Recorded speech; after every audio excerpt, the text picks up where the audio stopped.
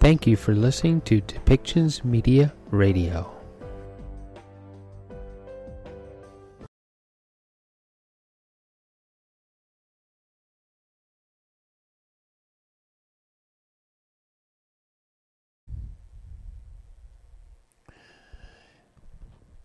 Welcome back to Depictions Media Radio. I'm your host, Michael Clogs.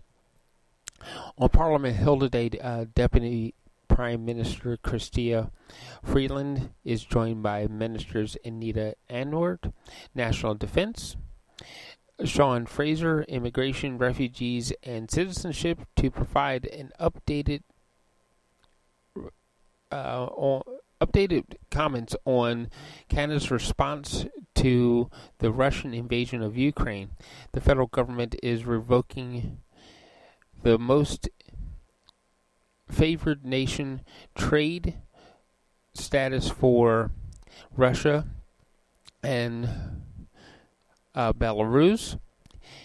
Subject subjecting them to a 35 cent tariff on exports to to Canada. For the Ukrainians fleeing the war, the government is opening a new immigration scheme for those coming to Canada temporarily and another for those staying on a permanent basis. Canada is providing Ukraine with an additional supply of lethal aid consisting of rocket launchers, hand grenades, and $1 million to fund purchases of modern high resolution satellite imagery. So let's listen to the next segment from Chrystia Freeland and the ministers joining her.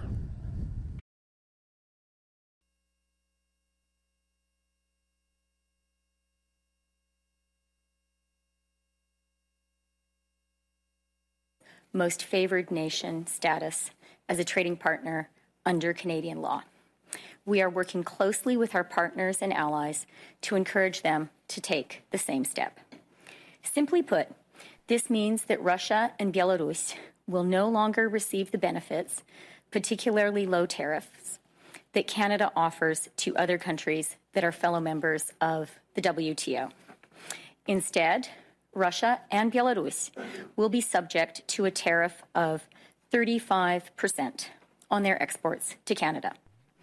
The only other country that does not enjoy MFN status with Canada is North Korea. Last night, we also announced that Canada will sanction 10 executives from Rosneft, Russia's leading oil company, and from Gazprom, a major Russian state owned energy company, this will bring the total number of people and entities sanctioned, or in the process of being sanctioned, by Canada since Russia's illegal occupation of Crimea in 2014 to more than 1,000.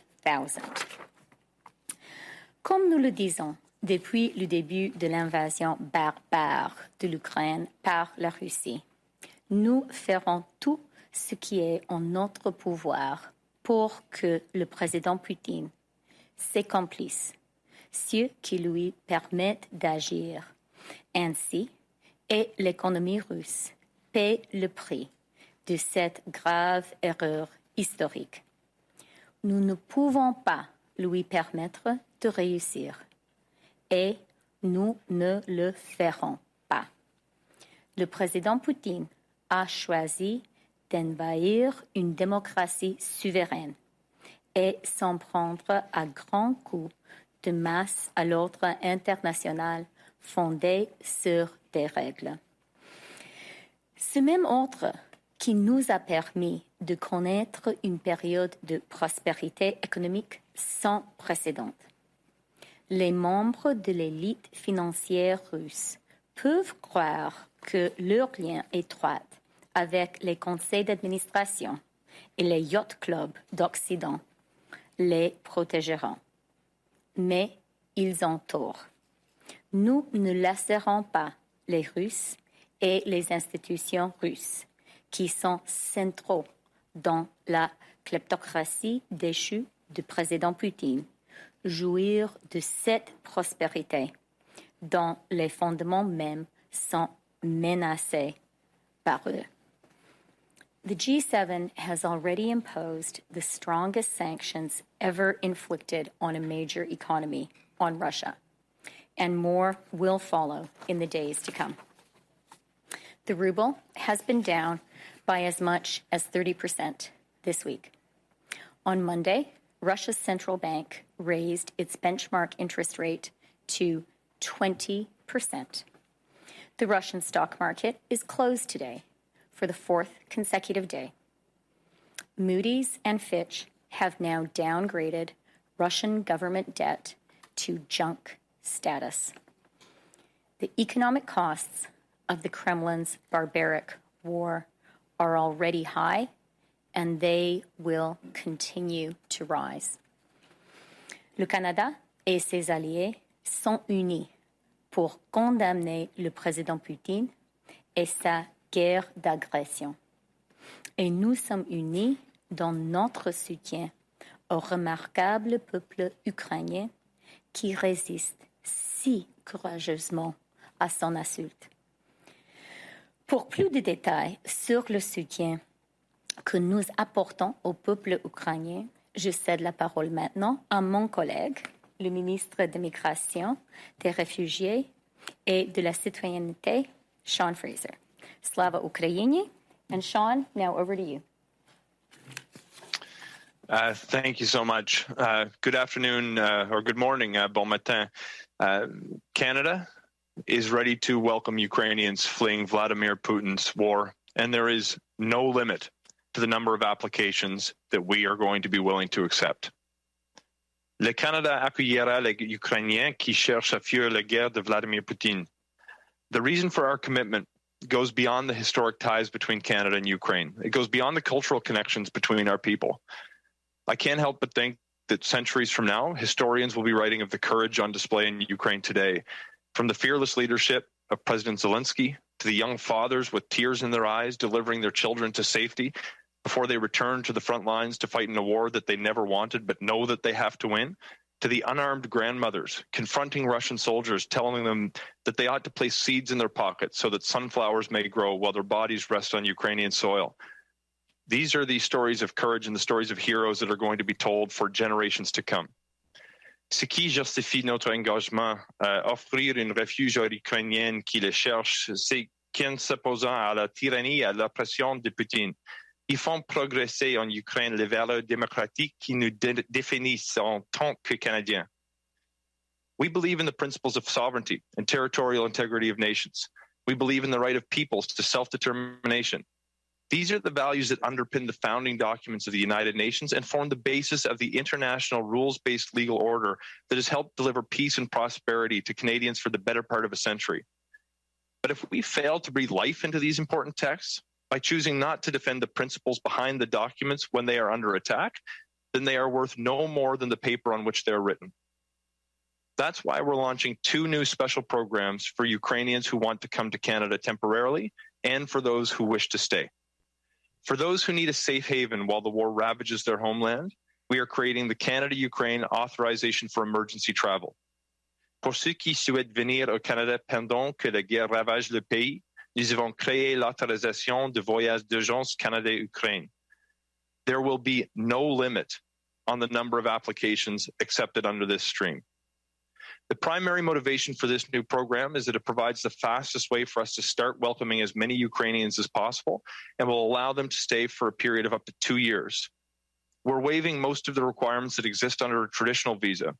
In order to qualify, individuals will need to complete a simple application form and provide biometrics for security and background screening. To help ensure this process can be executed in a timely way, we started moving biometric kits and other materials to the region in mid January. This means that we have both the equipment and personnel in place to take biometrics in Warsaw, Vienna, and Bucharest, in addition to 30 other location, locations throughout Europe. We're ready to extend hours of operation and add more staff as needed, where needed. Everyone who arrives under this new stream will also be eligible for an open work permit or study permit that will allow them to take a job with any Canadian employer or enroll in an education program. Et comme annoncé précédemment, IRCC délivrera également des permis de travail ouverts aux visiteurs, travailleurs et étudiants ukrainiens qui se trouvent actuellement au Canada et ne peuvent rentrer chez eux. We'll also be waiving application fees to remove the additional financial burden for families. Any Canadian employer willing to hire Ukrainians may do so. And I encourage the Canadian business community to step up and do their part to help support those coming into Canada in their time of need. And I want to say thank you to the employers who've already reached out saying that you want to do your part. I've heard from the Ukrainian Canadian community that many fleeing the violence will want to return to their homeland and to their families when the war comes to an end. I've heard that others, particularly those with family in Canada, may wish to stay. That is why we are also introducing an expedited path to permanent residency for Ukrainians seeking to reunite with family members who are already in Canada through a new family sponsorship pro- program. C'est pourquoi nous introduisons également une voie accélérée vers la résidence permanente pour les Ukrainiens qui cherchent à réunir les membres de leur famille qui se trouvent déjà au Canada. This program will allow a wider circle of family members to be resettled in Canada compared to traditional family reunification streams. We're going to be working closely with members of the Ukrainian Canadian community and the Ukrainian Canadian Congress in particular to finalize the details of this new program in the coming weeks. More than a month ago, we also moved to implement priority processing for Ukrainians who wish to reunite with families, study, work, or start a new life here in Canada. Et depuis janvier, IRCC, plus de 6 000 Ukrainiens sont arrivés au Canada dans le cadre de divers programmes. Nous avons également lancé une ligne téléphonique dédiée à l'immigration et un formulaire de demande en ligne dédié à l'Ukraine, disponible au Canada à l'étranger pour répondre aux demandes d'immigration, afin que les demandeurs puissent obtenir de l'aide plus rapidement. Aux Ukrainiens qui sont prêts à donner leur vie pour défendre les valeurs auxquelles nous tenons, nous sommes à vos côtés, non seulement dans nos paroles, mais aussi dans nos actes. We are unwavering in our commitment to do whatever it takes, as long as it takes, to help you succeed in your efforts to win this war. We will provide equipment to help defend your homeland. We will provide financial support to help stabilize your economy. We will impose economic sanctions on your oppressor. And today, we will offer safe haven to your families while you fight on the front lines of a war to defend your freedom from tyranny to the benefit of the entire world. Thank you. Merci tout le monde. Slava Ukraini. And I think it's over to the Minister of Defense, Anita Anand, now. Merci beaucoup, Chrystia and Sean. Good morning, bonjour tout le monde. It has been just over one week since Russia further invaded and brutally attacked Ukraine. One week of witnessing the horrific consequences of Putin's unprovoked war on innocent people, and one week of unshakable courage for um, our Ukrainian friends. While Putin's attacks have steadily intensified, so has our military support for Ukraine in coordination with our allies. We will leave no stone unturned when it comes to supporting our friends in Ukraine as they fight for their lives and their right to exist. To this end, I am announcing today in addition to the various tranches of military equipment that we have pledged to in the last 30 days, two new significant contributions. First, we intend to supply additional lethal aid to Ukraine, which includes up to 4,500 M72 rocket launchers and up to 7,500 hand grenades. These weapons will be drawn from the Canadian Armed Forces' existing stockpiles and will be transported to the region as quickly and safely as possible. Given the nature of the conflict, we are not providing details relating to transit. Second, we will be providing Ukraine with $1 million towards the purchase of high resolution, modern satellite imagery. This capability will provide Ukraine's military with a strengthened ability to monitor the movement of Russian forces in and around their territory. Nous n'allons rien négliger pour soutenir nos amis ukrainiens qui se battent pour leur vie et leur droit d'exister. À cette fin, j'annonce qu'en plus des diverses tranches d'équipements militaires que nous nous sommes engagés à fournir à l'Ukraine au cours des 30 derniers jours, que nous nous remettons en marche avec deux nouvelles contributions importantes. Premièrement, nous avons l'intention de fournir une aide létale supplémentaire à l'Ukraine, notamment jusqu'à 4500 lance-roquettes et jusqu'à 7500 grenades à main. Ces armes seront tirées des stocks existants des forces armées canadiennes et seront transportées dans la région aussi rapidement et sûrement que possible. Deuxièmement, nous allons fournir également à l'Ukraine un million de dollars pour l'achat d'imagerie satellite moderne à haute résolution. Cette capacité permettra aux militaires ukrainiens de mieux surveiller les mouvements des forces russes à l'intérieur et autour de leur territoire.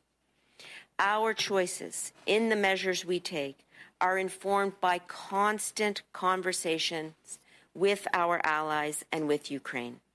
I am in daily contact also with Minister Reznikov, and yesterday I spoke with NATO Secretary General Jens Stoltenberg and the defense ministers of Denmark, Norway, and Sweden.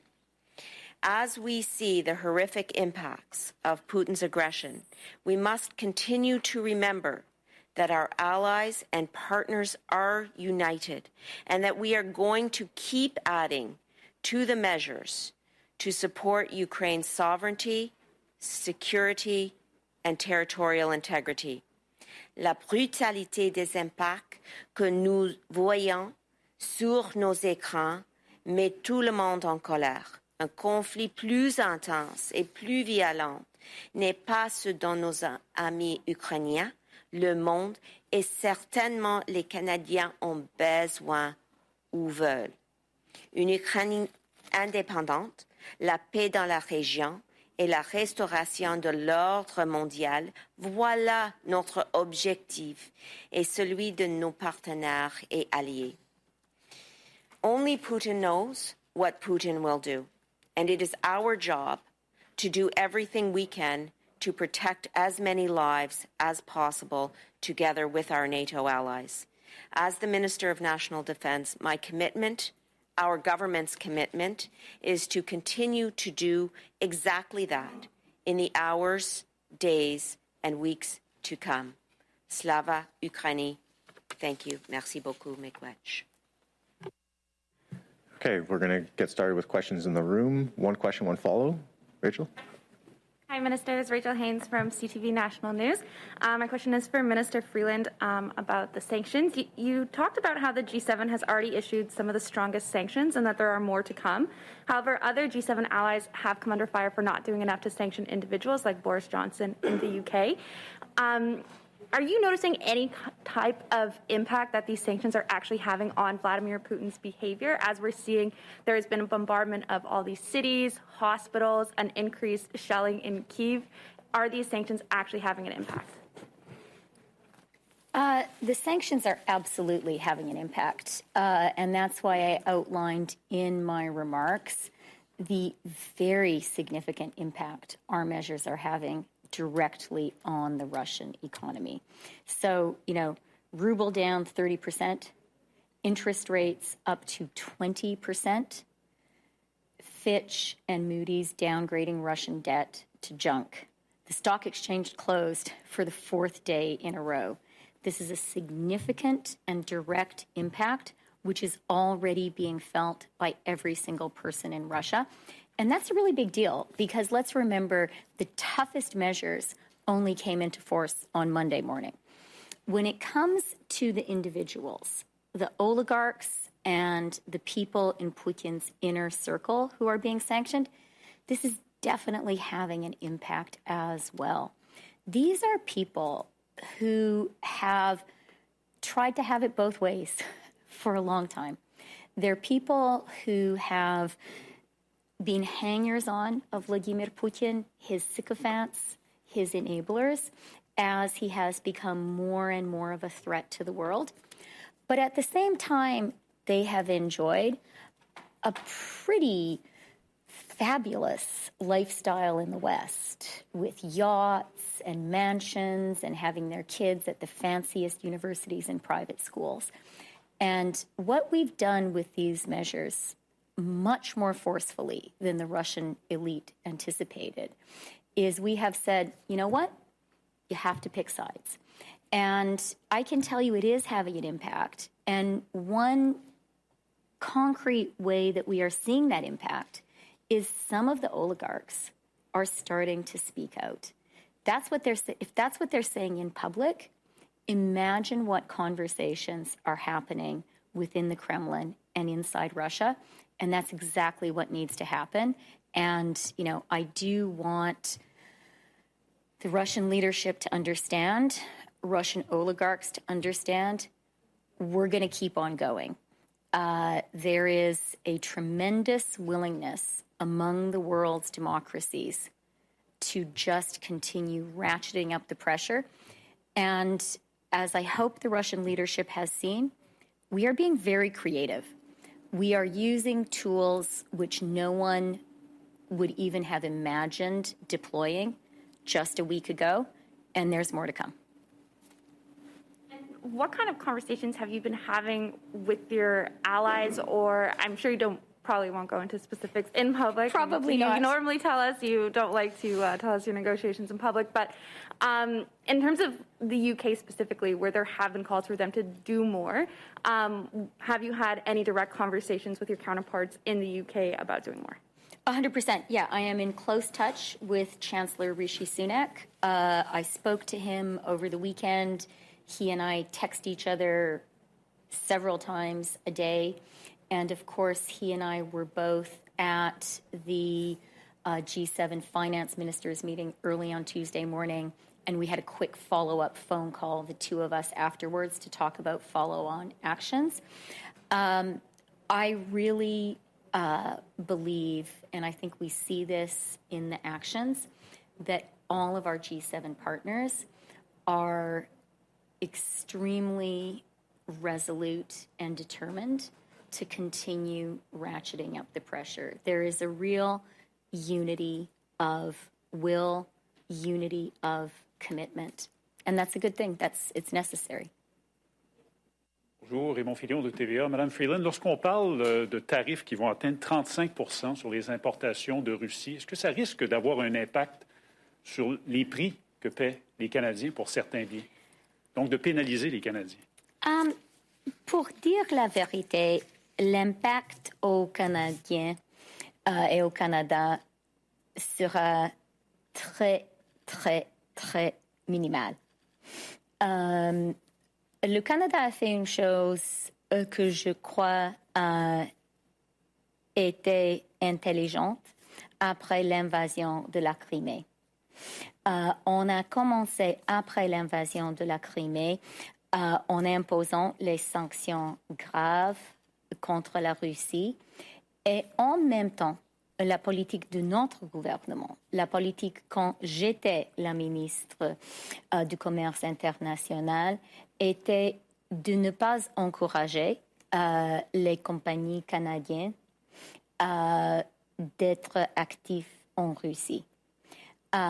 et c'était une politique intentionnelle parce que j'ai pensé, notre gouvernement a pensé que on verra du plus du président Poutine et que ce sera un risque économique pour le Canada et pour les compagnies canadiennes d'avoir des liens plus proches avec la Russie. Alors, euh, entre les pays de G7, je pense que le Canada a des liens économiques euh, les moins sérieux avec la Russie de tous les pays de G7, on est bien positionné euh, en matière, euh, bien positionné stratégiquement dans notre économie.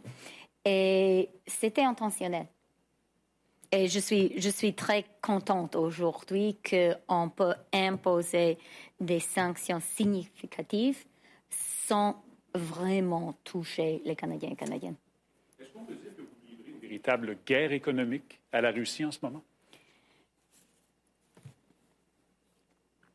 Je pense qu'on peut dire qu'on prend des mesures très, très fortes, plus fortes que jamais, et qu'on va continuer.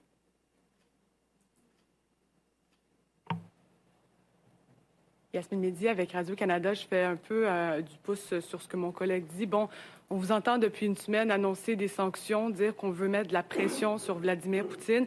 Est-ce que l'objectif du Canada aujourd'hui, c'est un changement de régime en Russie? Les affaires internes de la Russie sont une question pour les Russes. Euh, l'objectif du Canada, c'est un changement de la politique étrangère de la Russie. Euh, c'est l'arrêt du guerre barbare et illégaux que la Russie fait maintenant contre l'Ukraine. Et c'est très important pour nous de démontrer aux leaders de la Russie, à l'élite russe et même au peuple russe qu'ils ne peuvent pas en même temps faire la guerre contre l'ordre international fondé sur les règles et faire partie de la prospérité qui était créée par cet ordre. C'est ce qu'on est en train de démontrer. Les conséquences sont là et c'est très important pour la Russie, pour tous les Russes de comprendre que les conséquences vont euh, continuer de s'élever. Et, je veux aussi dire une chose, et c'est que euh, il y a des gens dans la Russie qui ont commencé de critiquer cette guerre barbare. Et je pense que c'est important de respecter la position de ces gens russes. Ils sont vraiment courageux. Ce n'est pas une chose facile quand tu vis dans une dictature, de critiquer ce que la dictature fait. Et je veux vraiment, je veux vraiment dire aux ces gens russes courageux, à ces gens russes moraux, que euh, on est connaissant de ce qu'ils font, euh, ce qu'ils font, et c'est très important. Et en suivi sur la question de l'immigration, là, on comprend qu'il y a deux programmes que vous annoncez aujourd'hui, mais on n'annonce pas une levée totale des visas pour les Ukrainiens. Êtes-vous capable de nous dire pourquoi exactement? Puis est-ce que c'est parce qu'il y a un risque sécuritaire? Je vais dire quelques mots et après ça, je pense que notre ministre excellente immigration peut continuer. Euh, je veux seulement dire que je sais que les Canadiens et Canadiennes euh, veulent accueillir les Ukrainiens.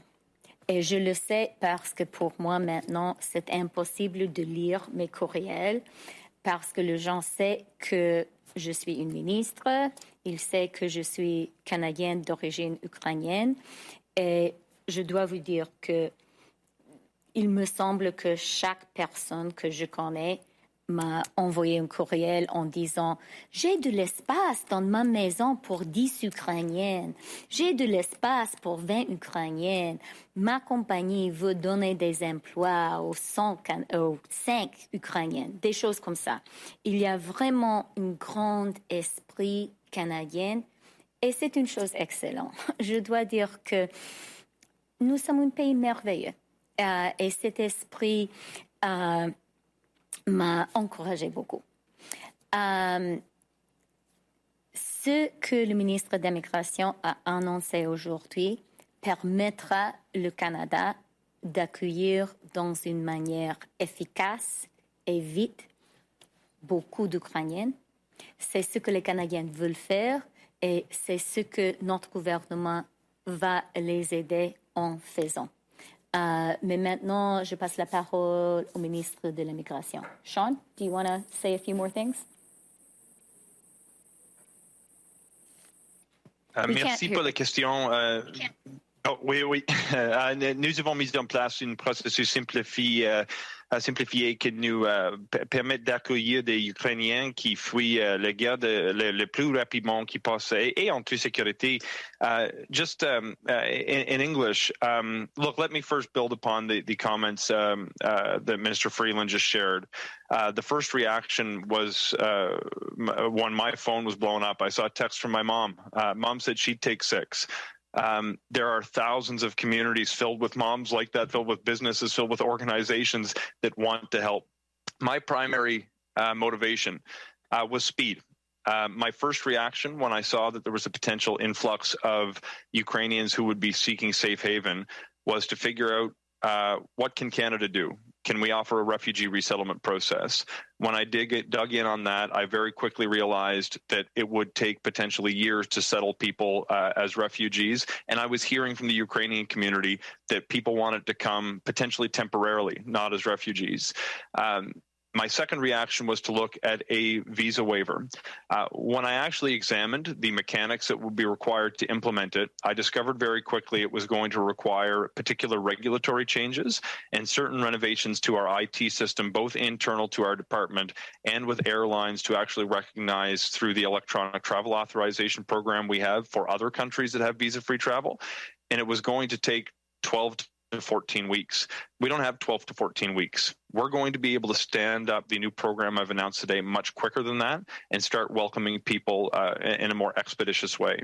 I should point out as well that we do want to make sure that Canadians have faith we can manage this in a professional way that protects our security, as you've, you've suggested.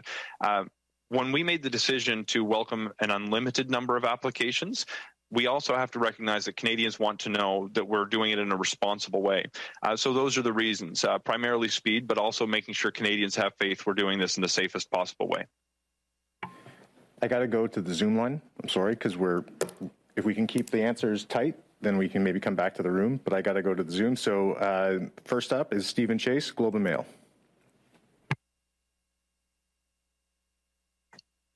Hi, Steve Chase here, Globe and Mail. I just want to follow up on my uh, colleague's question. Um, why didn't you, the visa, the, the, main feature of a visa application that I'm interested in is that it requires a security check. Um, and, and, I'm assuming that's part of the reason why you kept the visa requirement in place, even though there's 60 other countries and jurisdictions that get visa free access to this country.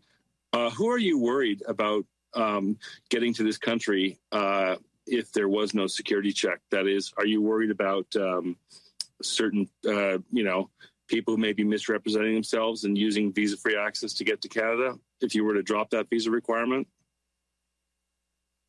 Uh, look, uh, th- thanks very much for the question. And I, I think uh, j- just to uh, reiterate, uh, when you do have uh, a complete visa waiver, that means that everyone can come who who is a Ukrainian national. Um, it also opens the door for others who might slip through the cracks. Uh, we've heard concerns uh, about certain individuals, such as those who've supported and fought against the Ukrainian army in Putin's war for the past eight years in the Donbass, as well as those who are currently working against Ukraine and assisting Russian troops.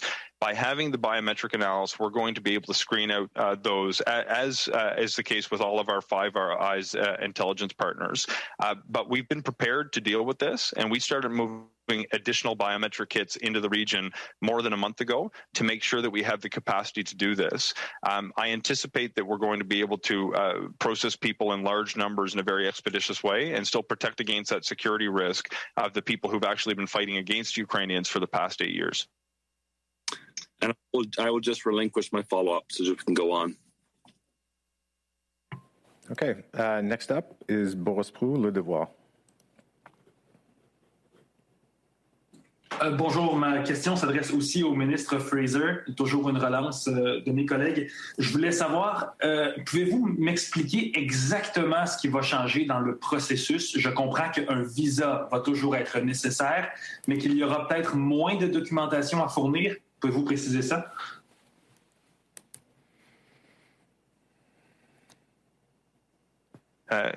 Oui, merci pour la question. And just pour vous êtes d'accord si je pose ma réponse en, uh, en anglais, um, just because I want to get the uh, the, the, details uh, accurately.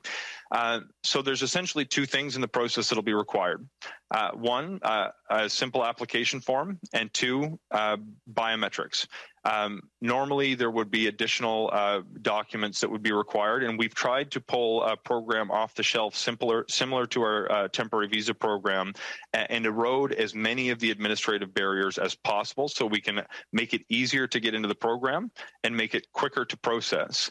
In addition, people will be eligible for an open work permit when they arrive. There will be no requirement for a labor market impact assessment. There will be no consideration of NOC codes. Uh, there will be no consideration of uh, language requirements. You'll be able to work and study as part of this program after you arrive too. Um, so we've essentially tried to look at our programs that allow people to travel to Canada and allow them to work and paired off as many administrative barriers as possible. So you just need to submit the application form and then submit your biometrics, and then we can deal with uh, uh, other elements after you're in Canada to the extent it may be necessary. Merci. En suivi, est-ce que des demandes sous cette forme accélérée seront acceptées à partir d'aujourd'hui? Et combien le ministère euh, prévoit que de, de, quel nombre d'Ukrainiens euh, devraient euh, participer à ça ou faire des demandes selon le ministère?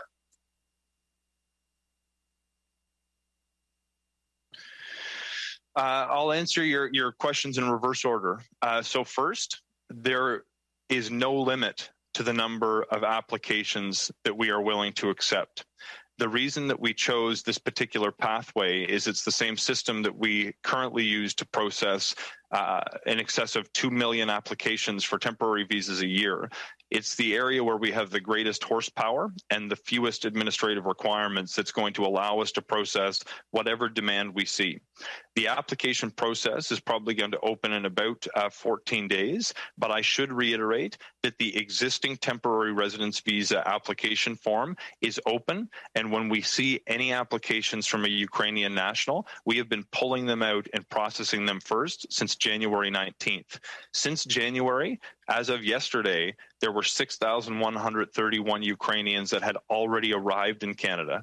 We have been working very hard to make it as quick as possible. And if there is an application, not just for permanent residency or temporary residency, but for proof of citizenship, for study permits, for work permits, any application in IRC system, IRCC system that is attached to a Ukrainian national has been prioritized on a priority basis uh, since January 19th, and we're going to continue to do that up until the moment the new application application system goes live. Okay, uh, next on the Zoom line, we're going to go with David Akin from Global News. Um, thank you very much. Um, my question uh, for, uh, for, Minister Freeland. Um, Minister, lots of uh, members of the gallery, most members of the press outside our country have been writing about your unique, I don't know, like I call like uh, heritage. Uh, attributes in helping to mobilize sort of the international alliance against this. I wonder if you might speak a little bit about that. Your ability to speak. Uh, you're probably the only G20, I assume, foreign minister that speaks Ukrainian that has that background in Russia. Could you reflect a little bit about that that bit of you in dealing with this particular crisis? I don't really want to, David, because I think our focus should be on the really, really brave people of Ukraine. And I think they are the ones who have turned this around. Um, you know, I think that when it turned out that Western deterrence efforts hadn't worked. And when Putin launched his barbaric attack on Ukraine a week ago, just over a week ago, the sort of mainstream expert prediction was that Ukraine would fall and it would fall very quickly. And the Ukrainians proved everybody to be wrong, uh, starting with President Zelensky and his I think it's going to go down in his his historic line I need ammo not a ride.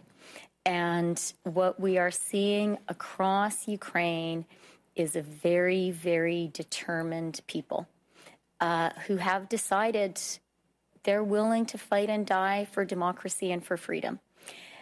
And I think that that incredibly brave, incredibly spirited resistance has inspired the West. I think the Ukrainians are the leaders now. And, you know, I think you could say maybe the West, Western democracies, maybe we were kind of losing our mojo. You know, we were getting a little bit cynical about whether democracy really works. We were getting a little bit cynical about whether regular people really care about democracy and freedom. I think maybe we were getting a little bit cynical about the ability of democracies to act together quickly and in a united way. And I think Putin was counting on that. I think Putin and Russian disinformation actually, for years now, has been trying to make us in the West cynical about democracy. And I think he thought his campaign had been working. And I think maybe some of us thought that too. And I think, and I speak for myself, but I've heard this from many leaders of other Western countries and non Western countries too. You know, the Kenyan uh, UN ambassador made a remarkable, remarkable statement. And I've heard it from lots of Canadians. I think seeing the Ukrainians stand up and say, we may be smaller than you, you may have a fierce army that is bigger than ours, but we will not submit. I think that that is what has been transformative. And I'm very proud of them. I'm very inspired by the people of Ukraine. And I think the whole world is. Uh, thanks for that.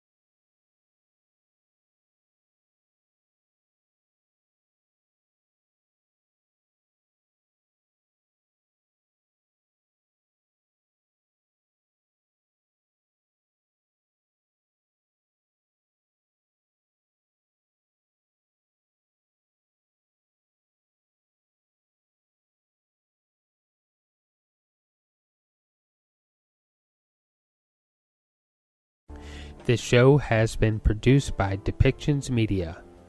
Please contact us at depictions.media for more information.